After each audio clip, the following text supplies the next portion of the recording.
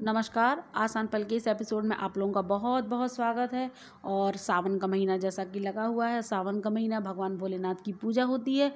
और हम पूजा तो करते ही हैं, साथ में जो सुहागन स्त्रियाँ होती हैं, लड़कियाँ होती हैं तो हम लोग क्या करते हैं कि चूड़ियाँ भी पहनते हैं। तो सावन के महीने में खासकर हरी चूड़ियों का ज़्यादा महत्व होता है, क्योंकि जो हरी चूड़ी होती है, वो हरियाली का प्रतीक होती है, ये नकारात्मक ऊर्जा को दूर करती है।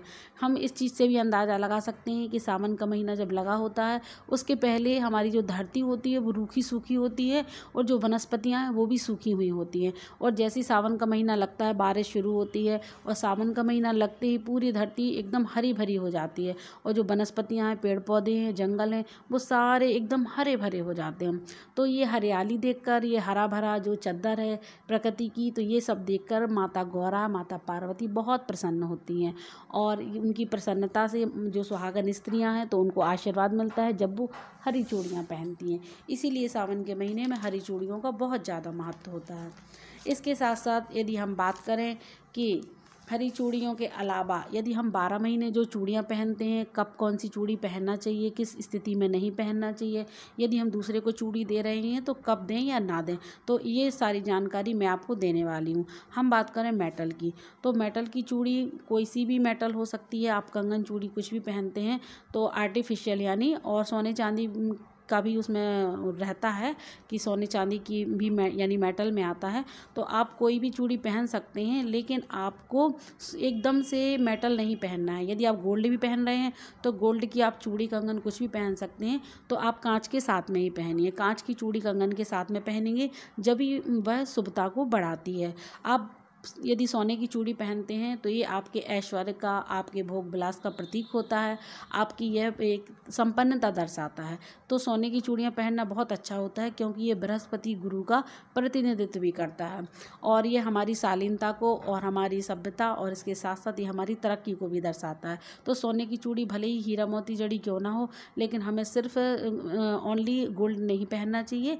इसके साथ में हमें चूड़ियाँ भी पहनना चाहिए। इस चीज़ का विशेष ध्यान रखें।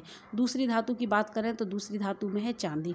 तो चांदी का कंगन है, चूड़ियाँ हैं तो ये सुहागन स्त्रियाँ हैं, महिलाएँ हैं तो उनको नहीं पहनना चाहिए। क्योंकि चांदी महिलाएँ यदि पहनती हैं, वैसे तो संतान सप्तमी का व्रत रहा जाता तो उसमें हम चूड़ी पहनते हैं, जो बच्चों की तरक्की के लिए होता है, हमारी संतान की समृद्धि और लंबी आयु के लिए होता है, उसका प्रतीक माना जाता है। लेकिन इसके अलावा यदि हम भर भर हाथ के चांदी की चूड़ियाँ पहने तो ये हमारी शुभता को कम करता है, ये हमें नहीं पहनना चाहिए। तो चांदी की चूड़ी वैसे तो पहले के समय में और आज भी चांदी की ज्वेलरी बनती है हाथों के लिए तो पहनी जाती है। लेकिन आप उसको कांच की चूड़ियों के साथ में ही पहने, आप उसको अलग से ना पहने। तो इस चीज़ का आप विशेष ध्यान रखें।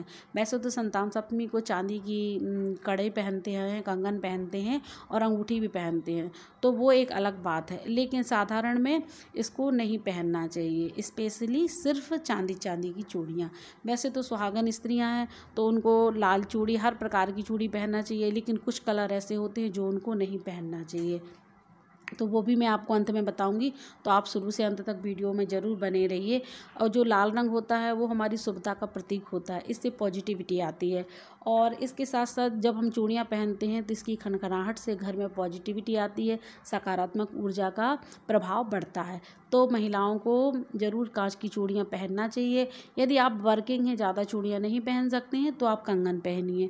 और इस बात का भी आप ध्यान रखें कि कंगन मेटल का नहीं होना चाहिए। कंगन सिर्फ़ चूड़ी का होना चाहिए, यानी कांच का बना होना चाहिए, या उसके अंदर तरफ़, नीचे तरफ़ चूड़ियाँ होना चाहिए। तो आप इस चीज़ का ज़रूर ध्यान रखें।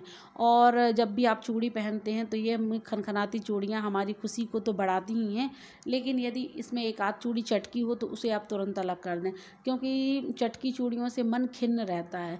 मन में एक दुविधा सी बनी होती है, मन अप्रसन्न टाइप का रहता है। तो इसी चीज़ को ध्यान में रखते हुए वैसे भी अच्छी नहीं मानी जाती हैं चटकी चूड़ियाँ तो आप चटकी चूड़ियों को अलग कर दें।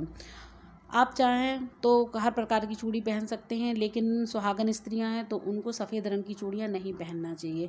क्योंकि सफ़ेद रंग की चूड़ियाँ, आप यदि पार्टी में जा रहे हैं तो आप ज़रूर पहन लीजिए। यदि आप की ड्रेस उस तरह की है तो मैचिंग में आप पहन सकते हैं, लेकिन आप यदि शादी समारोह में जा रहे हैं या पूजा में जा रहे हैं तो आपको एकदम सफ़ेद चूड़ियाँ नहीं पहनना चाहिए।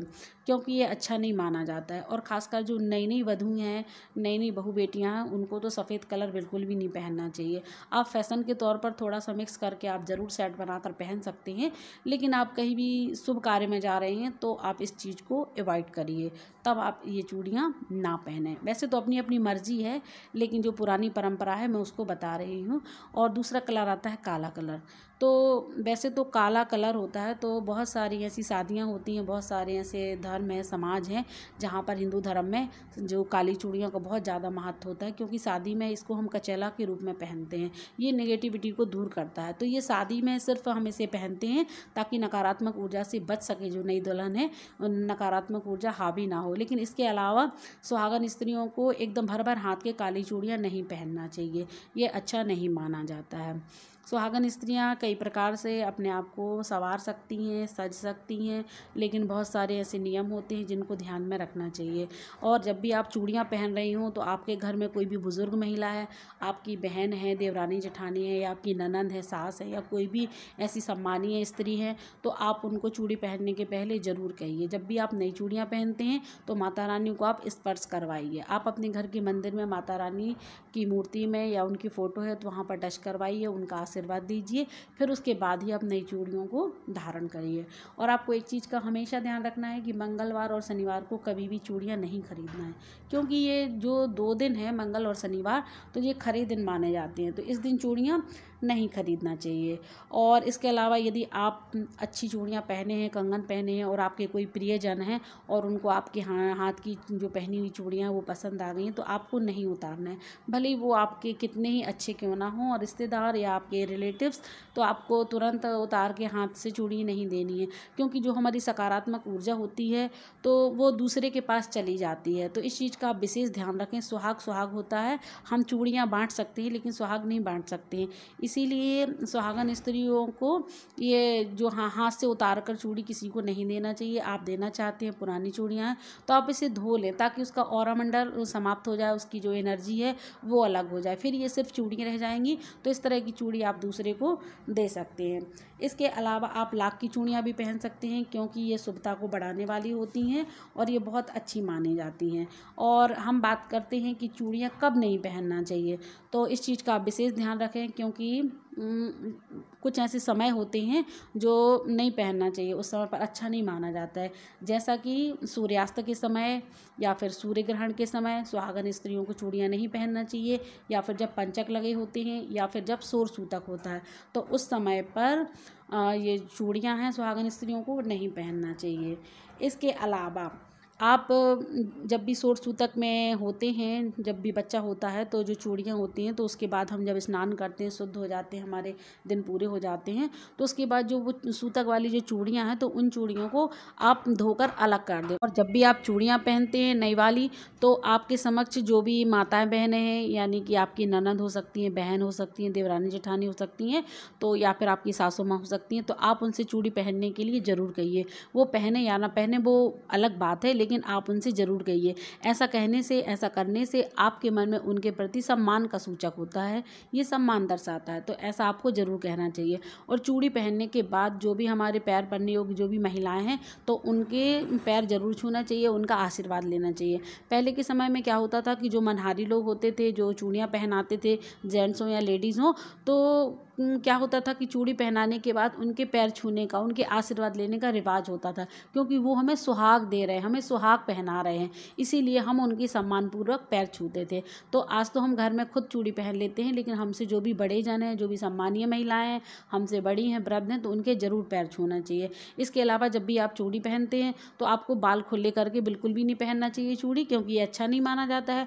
और इसके साथ साथ जब भी आप चूड़ी पहनते हैं तो जैसे ग्रहण में नहीं पहनना चाहिए, सूर्य ग्रहण ग्रहण हुआ, चंद्र ग्रहण हुआ, इस तरह से। और इसके साथ साथ संध्या के काल में, यानी संध्याकालीन नहीं पहनना चाहिए। और साथ ही इसके अलावा आपको एकदम हाथ खाली करके चूड़ी नहीं पहनना चाहिए, क्योंकि ये अच्छा नहीं माना जाता है। जो चूड़ी पहनाने वाले लोग होते हैं तो वो भी क्या करते थे, एक लास्ट की चूड़ी बचा के रखते थे और फिर लास्ट में उसको तोड़ देते थे। तो इस तरह से हाथ खाली करके चूड़ी नहीं पहननी चाहिए। चूड़ी टाइट पहनते हैं तो हमारा ब्लड सर्कुलेशन अच्छा होता है, लेकिन आज हम अपनी स्वेच्छा से पहनते हैं। तो आपको ये जानकारी कैसी लगी, ज़रूर बताइए।